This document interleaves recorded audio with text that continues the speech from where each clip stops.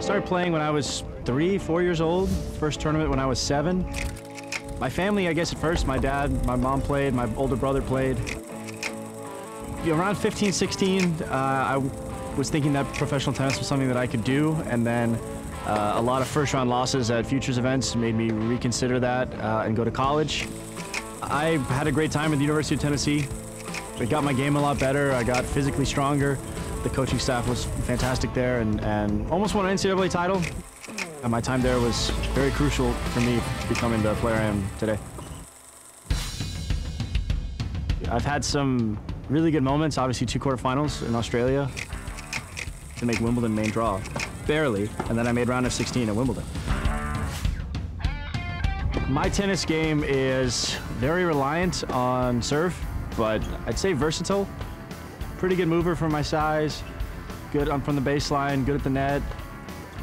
Don't do anything spectacular, but gonna compete hard. My tennis life is music. Picked up the drums about a year and a half ago. Was injured with the toe stress fracture and always something I wanted to do and gives me something to do in my spare time and love trying to get better at it. Big fan of rock music, metal, and just have a good time with it. I don't think anybody else really understands what it's like to be a professional tennis player and go through this, have this lifestyle and have this journey. It's a tumultuous sport. It's difficult.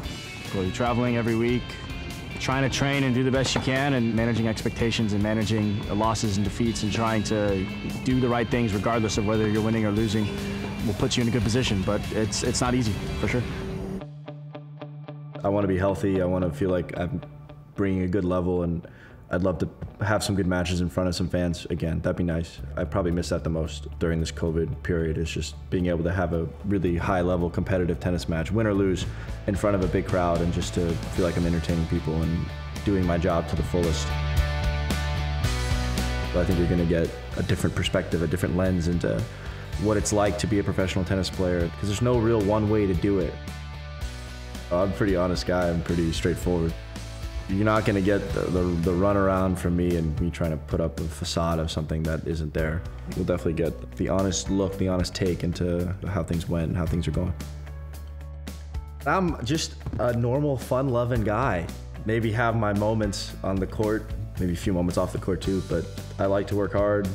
I like to play tennis and video games and listen to music and have a good time while I'm doing it. Hi, I'm Tennys Sandgren, and this is my tennis life.